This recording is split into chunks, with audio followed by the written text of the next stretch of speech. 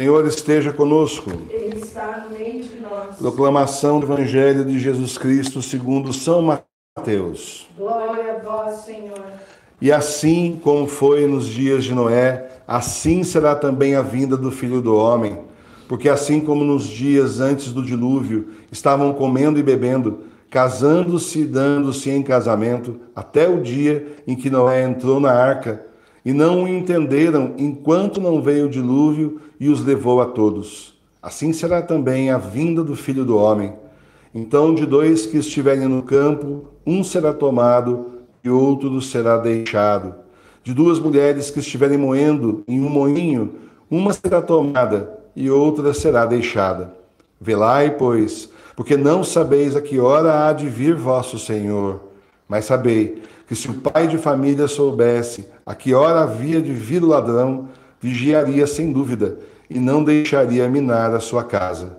Por isso, estáis vós também apercebidos, porque não sabeis nem a hora, a hora em que tem que vir o Filho do Homem.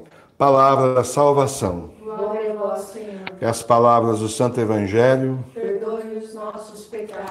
Então vamos nos assentar, vamos nos assentar para fazer aqui uma pequena reflexão sobre o Evangelho de hoje, né? Evangelho aí de São Mateus, 24, de versículos 37 até 44, né? Nós estamos começando o ano litúrgico A.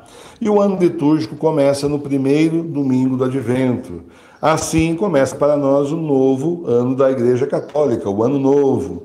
Isso quer dizer que para nós católicos já é ano novo. Então, para aqueles que chegaram agora, feliz ano novo para todos que nos acompanham pelas redes sociais. Saibam que várias religiões, o ano novo deles também, como os judeus, por exemplo, começa diferente do tempo do ano civil, né? Então, para nós católicos, hoje é ano novo. Feliz ano novo para você, meu irmão, minha irmã. Vamos para o Evangelho. No Evangelho dessa semana, Jesus está falando da sua volta. Ele faz uma comparação drástica. Será como nos tempos de Noé.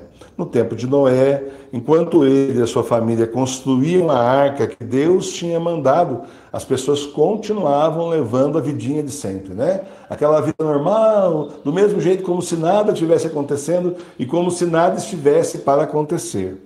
Noé ali batalhando pela salvação e as pessoas achando que ele era louco, fanático, obcecado, né? É como nos nossos dias, né? Nós sabemos que o mundo está acabando. Nós estamos vivendo já o tempo do Apocalipse. Jesus está voltando. Mas a gente avisa nossos amigos, familiares, avisa um monte de gente conhecida. E o que acontece? A maioria não acredita em nós. É a mesma coisa. Acham que nós somos loucos, estamos ficando fanáticos. Então não acreditam no que a gente avisa, no que a gente anuncia. Gente, até os padres, que deveriam ser os primeiros a falar nesse sentido. Tem gente que diz até assim: ah, você fica ouvindo aquele professor Emílio lá, tá ficando maluca e nem ele. Pois é. Nos tempos do Noé também era assim. Porque as pessoas falavam que é absurdo. Os ímpios não respeitavam o Senhor e não acreditavam em nada. Levavam sua vida normalmente até que enfim a chuva começou. E choveu. Choveu muito. E as águas começaram a subir. Só então eles viram que Noé tinha razão. Mas era tarde demais. Rapidamente a terra foi inundada até um monte mais alto. E os ímpios, que não acreditavam no Senhor, que achavam que Noé era louco, eles foram os que morreram. Assim vai ser agora também, gente. Os ímpios desrespeitam o Senhor de diversas formas. O Senhor ainda aguarda a conversão dos últimos de seus filhos para depois agir. Mas os ímpios interpretam isso de forma errada como o Senhor está esperando, os ímpios dizem: ah, não vai fazer nada. Ou pior ainda: ah, Deus não existe. Outros dizem: oh, ele é misericordioso, não pode fazer nada. E continuam fazendo suas aberrações, pecando e pecando contra o Senhor. A volta do Senhor vai cair sobre todos inesperadamente. Ninguém sabe o dia, ninguém sabe a hora, mas está cada vez mais perto. Quando isso acontecer, vai ser de surpresa para muita gente, como aconteceu com Noé.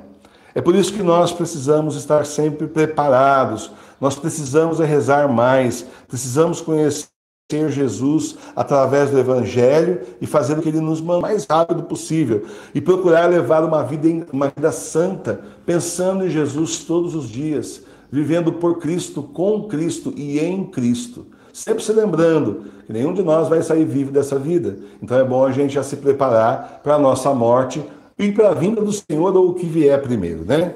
O destino dos ímpios é o inferno. Mas para nós que amamos o Senhor, Jesus está preparando um lugar no céu. Assim seja. Amém.